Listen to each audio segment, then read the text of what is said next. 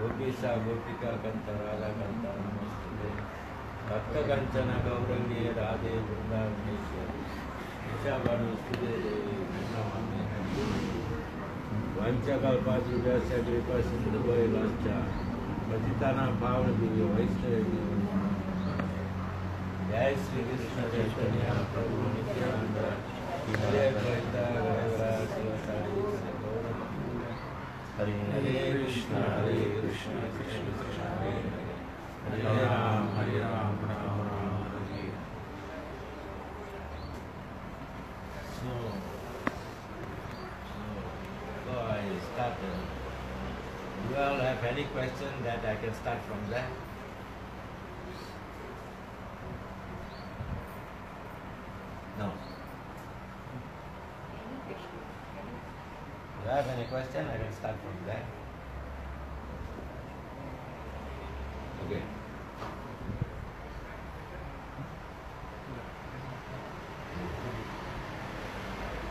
देहिनो यस्मिन् यथा देहि कौनरं यौवनं जरा तथा गृहंतरा प्राप्ति धीरस्तत्तनाम भूयते As the body's soul continually passes from boyhood to youth to old age, the soul similarly passes on to another body at death. This is the truth. You know that we have been a child before, now you are maybe in middle age, then you come old age, after old age, death. After that, what happens? The soul will transmigrate into another body. So there is no death for the soul. The body has to dwindle, grows old and die. So this life in this world here is not permanent. Human life is very, very rare. And we have to utilize the human life to realize the fact that death is there. And when that comes, we have to give up everything. Nobody can escape.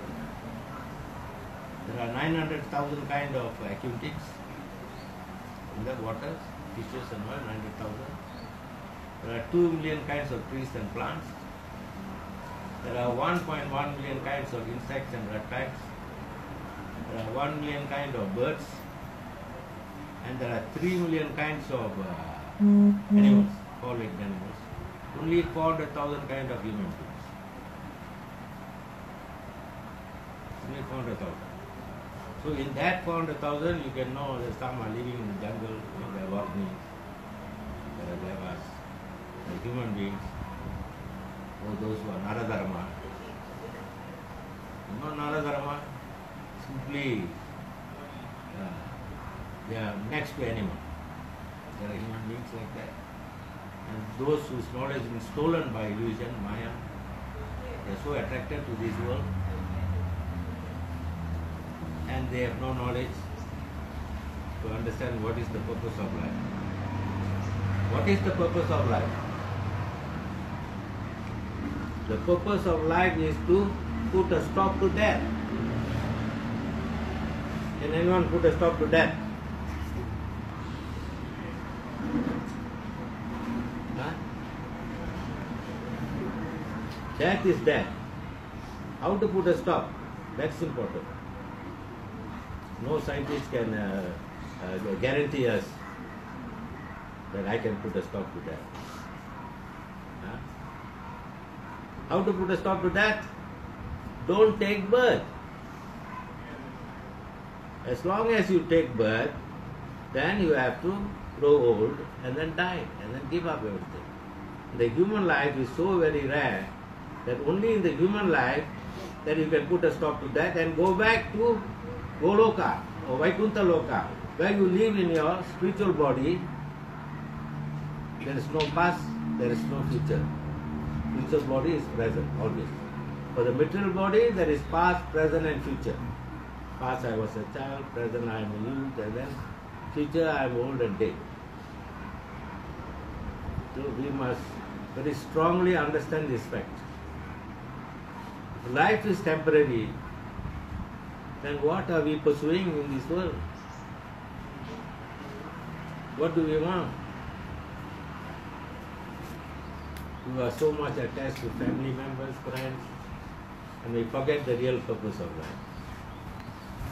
And the purpose of life is to put a, uh, put a stop to death.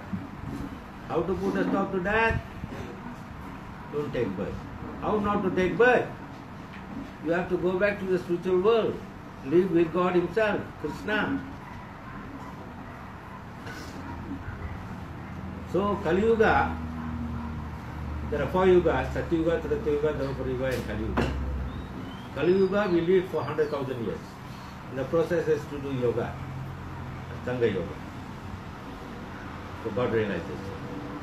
And then Treta Yuga. Treta Yuga we live for 10,000 years. The process is by performing big yajna and giving in charity. Vamana Dev also can do that. Then Dvapara Yuga, we lived for thousand years. And the process is they built big, big temples and there was deity worship. Dvapara Yuga. Kali Yuga,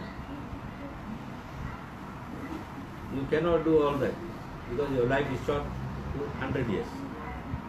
From 100,000 it came to 10,000, from 10,000 came to 1,000, and Kali Yuga 100. And the future of Kali Yuga you will live for 30 years, you are old, considered old man.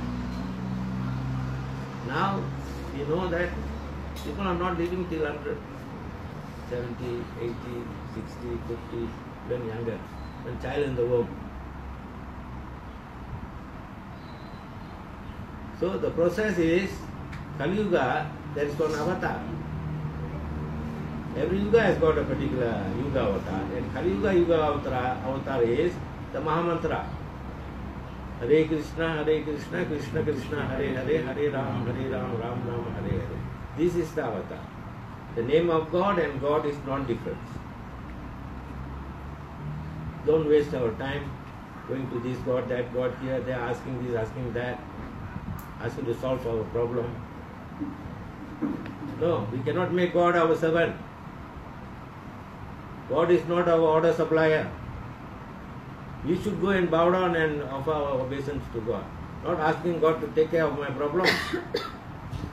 our problem is what we have architected in our past life. It's called prapta karma. Prapta karma has given you a particular body due to your past karmas. We have sowed so much of sinful seed in our past life. It has matured now, grown into a tree and bearing the fruit. So the prapta karma given your body to undergo happiness and distress. Sometimes we are born blind. Some are born, born with deformation. Some are born in a wealthy family. Some are born in a family, uh, a family very poor family. Why? Well, all are not equal. In the eyes of God, everyone is equal. He's the most merciful, He's all loving, He envies no one, and is partial to no one. But He's equal to all. But why then people are born with different, uh, what you call, uh, standard? One is rich, one is poor, one is blind, one is suffering, all kinds of disease. This is what we have done past life. So we are reaping that in this present life. So by luck, if you get a Vaishnava devotee to come and explain to you the purpose of life, you must be very fortunate. And half an hour time moment with them is the greatest fortune we can have. Understand the real purpose of life and go back to Goloka, Vrindavan, Krishna.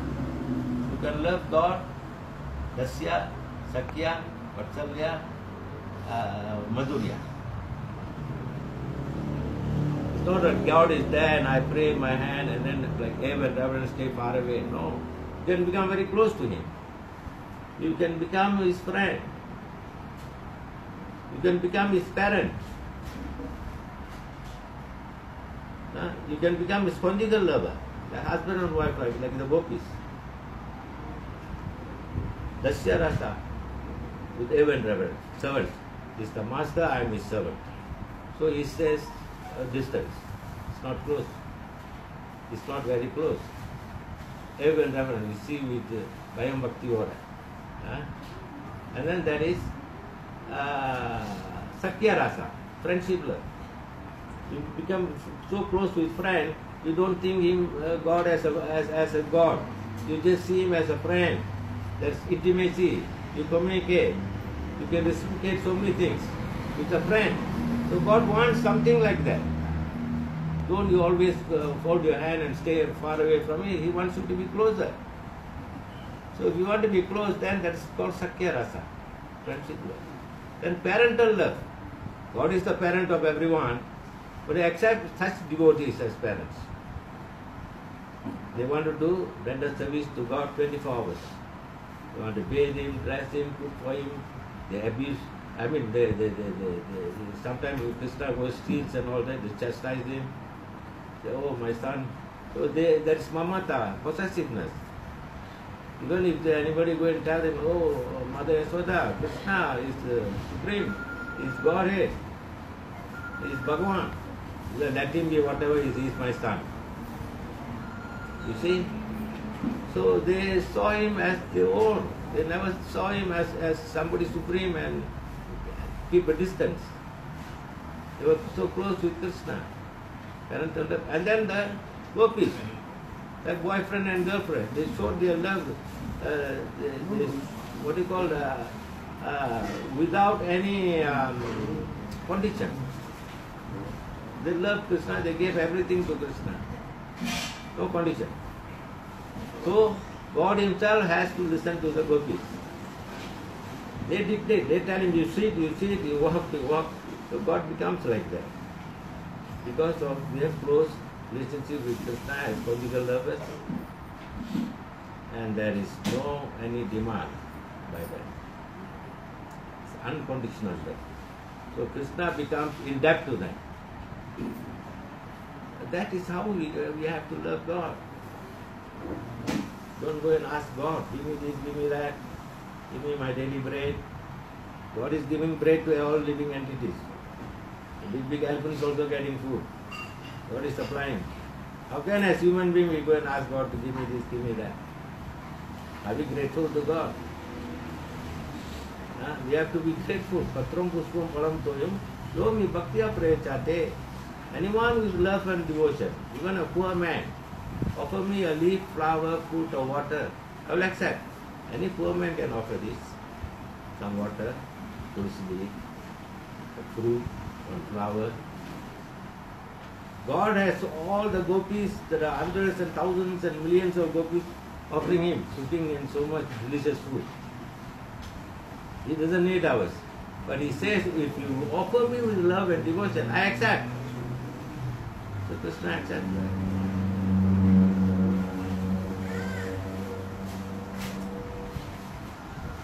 Any question?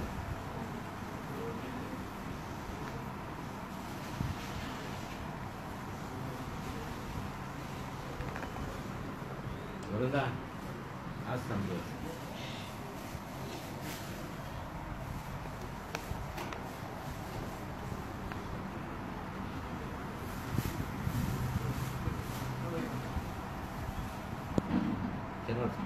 think about one, huh? Nah. Itu oke lu ya, Kang ya. Yes. You problem.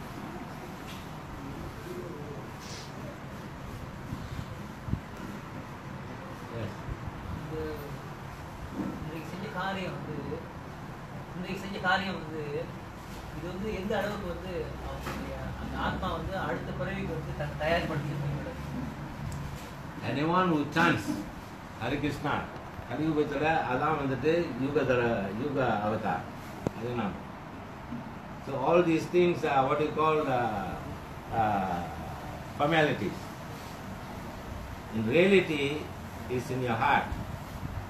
நம்ம மனசுல நம்ம வந்துட்டு பகவான் நினச்சிக்கிட்டு நம்ம வந்து மாமந்திரத்தை ஜெபம் பண்ணாலே அதான் யூகத்தோட uh, முறை வழி. You will be liberated there's no no problem about it Anyone who chants the Hare Krishna Mahamantra, whether they are initiated or not initiated, definitely they are taking a human birth in next life. மனித பிறவி நிச்சயம்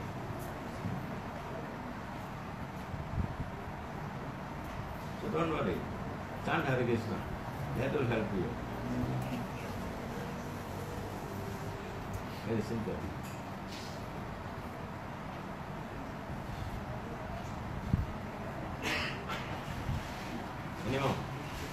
Were talking about material, living material uh, likings for for something beyond birth first. that's it. Okay, but uh, we are born on earth for a purpose, as you said before. So isn't our purpose to be fulfilled, you know, as a child for a parent, then subsequently as a husband, then as a father, as a grandfather, and then complete our task, and then prepare ourselves for the next rank, not just jump the whole gun. Well, Brahmachari, Grihastha, Vanaprastha, Sannyas.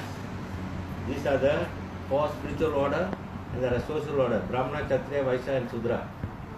So the spiritual order, Brahmachari means from 5 years to 25 years, as you celibate student, and you have to learn what is Brahma, what is spirit, what is matter.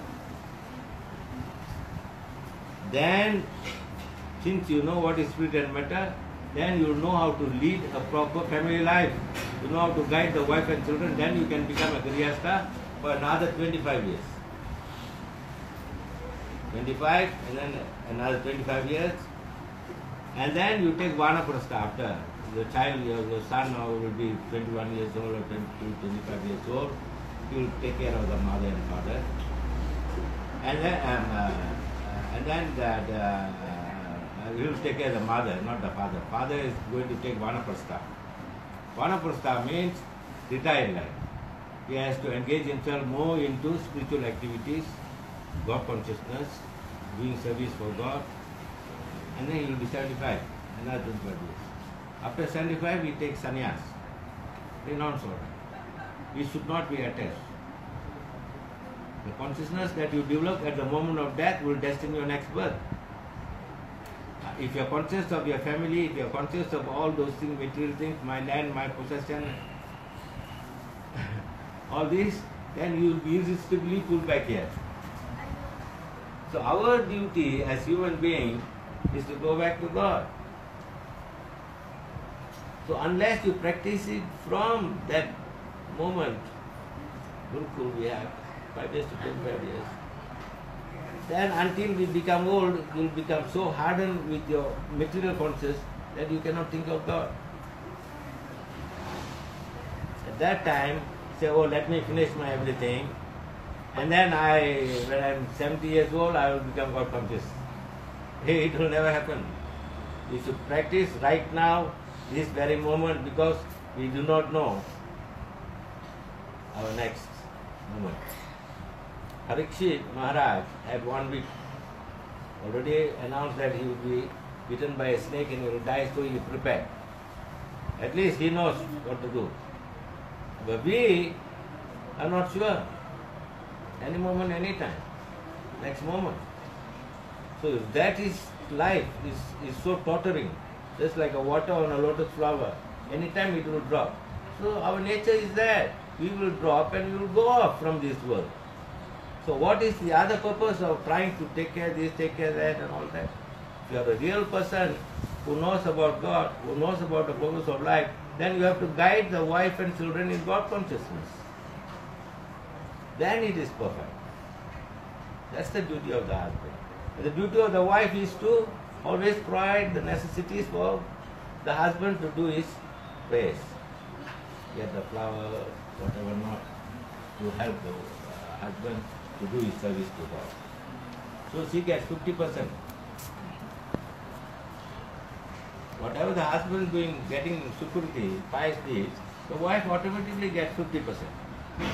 So whatever the wife gets, she keeps to herself. She never gives. Why? whatever spiritualities the wife does, she keeps to herself. But whatever the husband does, the spiritual merits, 50% goes to the wife because the wife is serving the husband. So he has to participate 50%. So that must be uh, our life. We cannot simply waste our life eating, mating, sleeping, depending, and then dying like anyone dogs and cats. They are doing that. They are also getting children and they are also taking care and all that. Human life is not for that purpose. Is to realize who I am. Aham Brahmasmi, I am a spirit soul. I am not this body. You are thinking I am body. I am Indian, I am American. See, when the soul comes into contact with matter, he gets these five elements, earth, water, fire, ether, and he develops a material body, and he does, not, does not have any knowledge of the spirit soul. He thinks I am this body. I am Indian, I am American, I am Christian, I am Hindu. We are not neither of any of these. I am Brahmasmi, I am a spirit soul, and the spirit soul is Sachit Ananda, eternity, all knowledge and bliss. Bliss means extremely happy. You cannot find happiness here.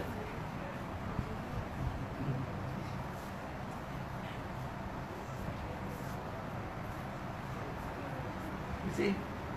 So it's extremely happy. So why not we find a place like that and why we have to be so moroseful and worried and then after at the moment of death, uh, no, you cannot take one penny with you. Now people buy a piece of land, say this is my land, this is my bungalow, this is my wife, this is my children, my car. I, me, mine. Nothing is yours. When we come, it was there, and when we go, it will be there. We won't be here. So we have to put a very hard thought on this. That is it. That's what's going to happen to me. And what should I do? What should I prepare? Ananjaya Prabhu, I know him. Where is now? This, this, this is what happens to each and everyone. Everyone has to give up.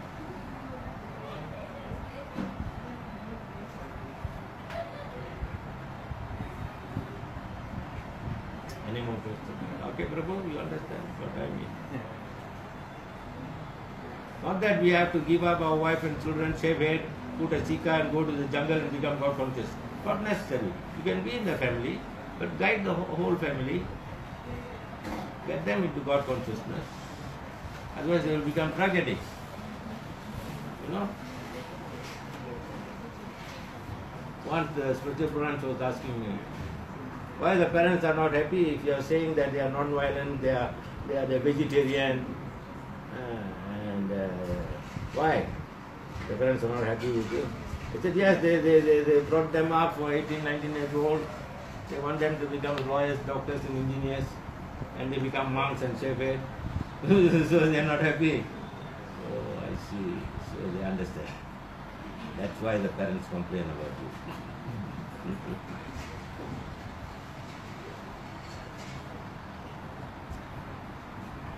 Yes, please, no question. I won't be coming all the time. After so many years, I'm now coming here.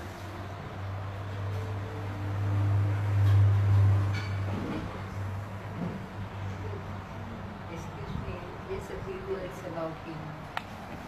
I, have known him for this past 38 years.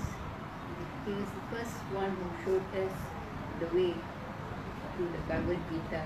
Came to sell Bhagavad Gita at my house. My Prabhu bought the Bhagavad Gita, we read, and we just started going to the tem- um, center, it was a center and we got attracted, we understood why we are here on earth, and he guided us from that day till today. Whatever he speaks has never changed for time, circumstance, no.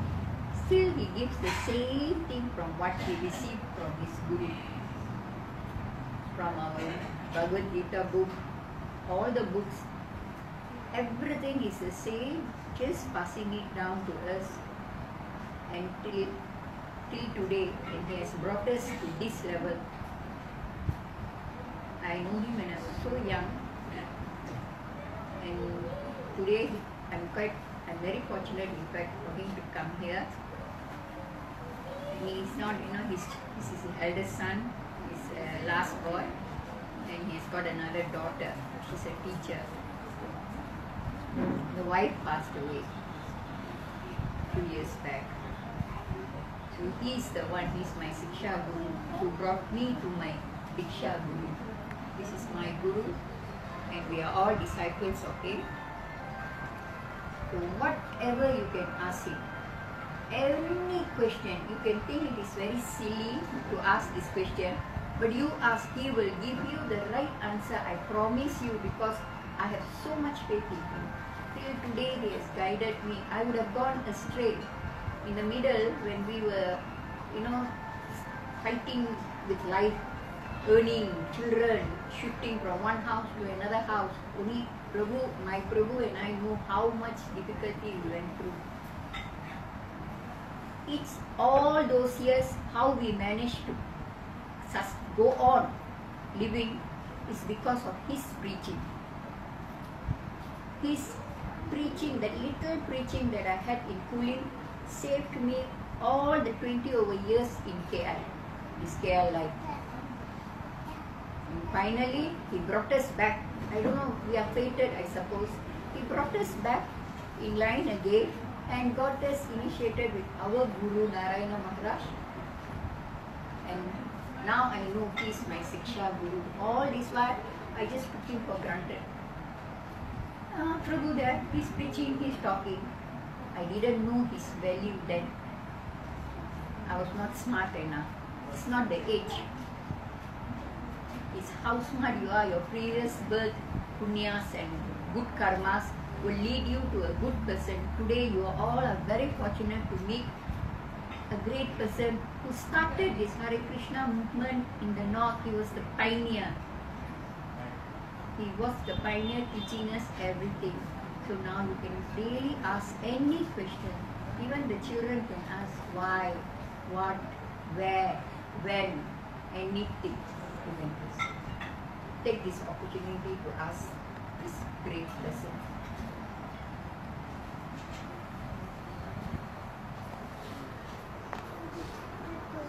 Yes.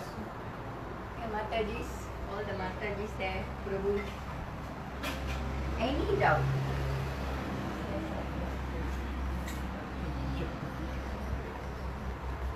She wants to ask, but she's hesitating.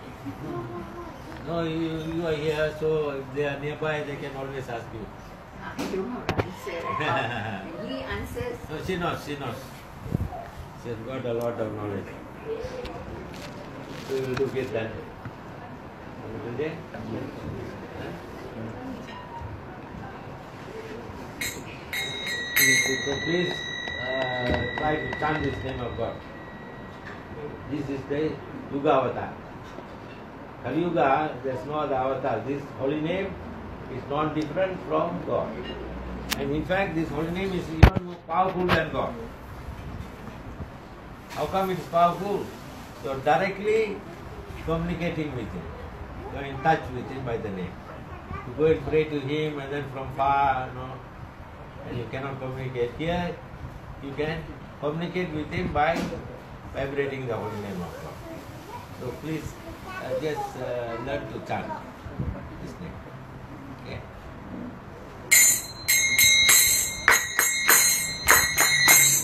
Hare Krishna, Krishna, Krishna Krishna,